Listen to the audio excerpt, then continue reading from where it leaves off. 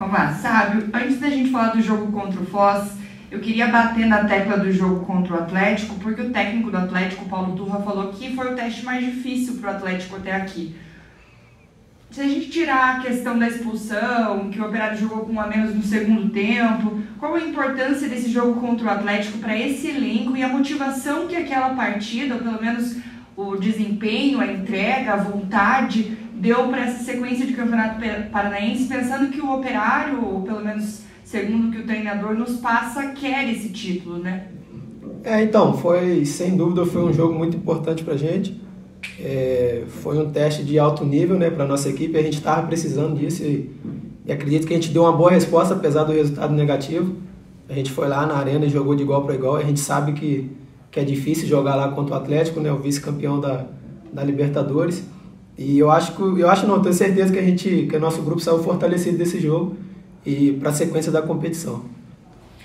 Bom dia, Sávio. Restam duas rodadas para o término da primeira fase e o Pará depende única e exclusivamente de si para terminar em segundo lugar, né, para ter as vantagens né, nas fases seguintes. É, e começa amanhã um jogo, muita gente acha que é fácil, contra o Foz do Iguaçu, que é a lanterna, em caso de derrota já vai estar rebaixado. Uhum. Mas é, um pouco em cima da pergunta da, da, da Hilary, é, qual foi a conversa de vocês depois da derrota, já visando esse jogo de, de amanhã contra o Foz fora de casa? Então, cara, esses jogos que, que são os mais perigosos, né? É, o Foz está tá brigando na parte de baixo da tabela. Eu acho que a gente tem que encarar o jogo como a gente encarou contra o Atlético, é, respeitando a equipe do Foz e ir lá buscar os três pontos. E a conversa no vestiário foi, foi de orgulho, cara. É, vocês viram aí a partida que a gente fez, né? É, infelizmente teve a expulsão lá, influenciou pra caramba no jogo, mas como eu disse antes aqui, a gente saiu muito fortalecido, tenho certeza que, que, que a gente vai, vai lutar para classificar no, na, nos quatro primeiros aí para ter as vantagens em casa. Sabe, contra o Rio Branco, o Guanais comentou aqui com a gente de uma conversa que ele teve com vocês falando em respeito ao adversário. Foz vive uma situação delicada, o próprio Dudu traz isso pra gente. Por outro lado, o Operário também, nas derrotas que teve, teve essas derrotas fora de casa e o histórico aqui dos últimos anos, enfim, é uma certa dificuldade a mais fora de casa. É um desafio para vocês esse jogo contra o Foz? Como é que tá é, essa questão de jogar fora de casa, buscar o resultado fora de casa, levando em conta também que o torcedor tem apoiado vocês onde quer que vocês joguem, né? É, então, a gente, a gente sabe, né, é, a dificuldade que, que é os jogos fora de casa, independente da, da equipe que seja, se está brigando na... Principalmente as equipes que estão brigando na parte de baixo, né, porque são o jogo, o jogo da vida deles, né. E acredito que, que não vai ser diferente contra o Foz. Se não me engano, é a última cartada deles, então eles, eles vão vir com tudo e, e ele pede sempre para gente, a gente entrar atento, entrar ligado, para não ter nenhum tipo de, de surpresa. Encarar, como eu disse, é encarar o jogo como a gente encarou contra o Atlético, contra os outros adversários, respeitando Foz e buscar os três pontos. Sabe, a gente observa que você é utilizado pelo Guanais no esquema com uma linha de quatro, uhum. né? É, Para você atuar com três zagueiros, é, tem essa facilidade também para jogar? Normalmente você joga quando tem essa, essa linha uhum. com quatro zagueiros. Com três seria para você tá, tá tranquilo? Porque Não. você tem uma característica um pouco mais digamos assim, um pouco mais defensiva. Uhum, sim, é, é, eu consigo também jogar, fazer a, essa linha de três também, mas acredito também por, por questão de característica, né? E, e aonde o professor Guanais optar, eu estou para ajudar sempre o operário e esse sempre foi meu, meu objetivo.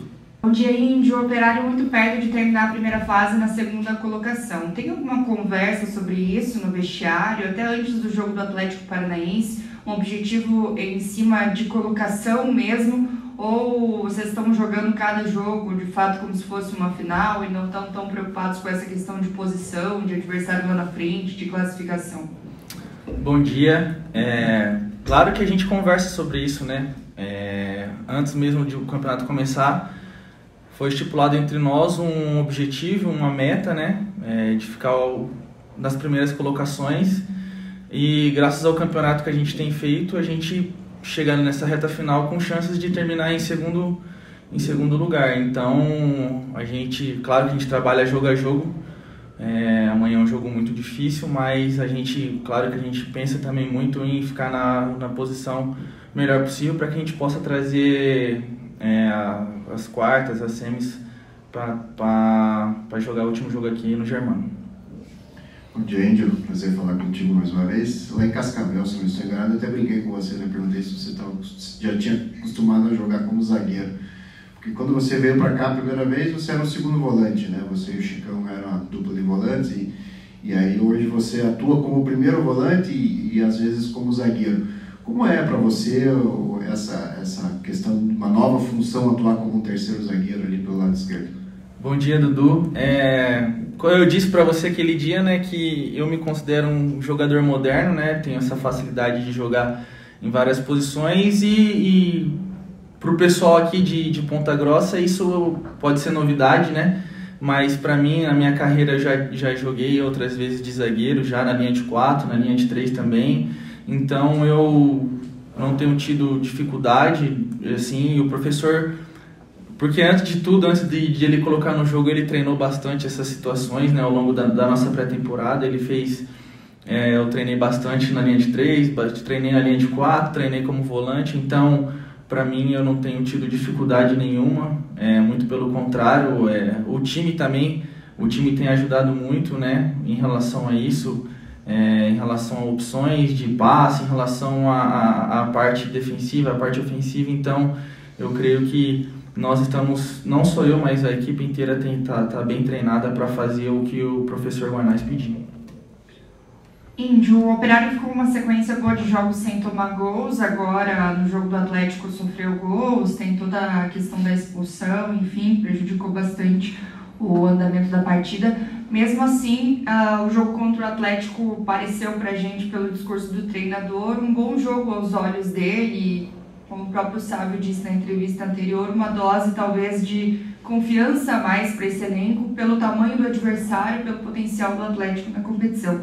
Esse jogo deixa vocês mais motivados para essa reta final de primeira fase e ainda não tomar gols contra o Foz lá, jogando fora de casa, já é um um primeiro passo para vocês, olhando para a situação de pressão contra o Foz, o jogo da vida deles?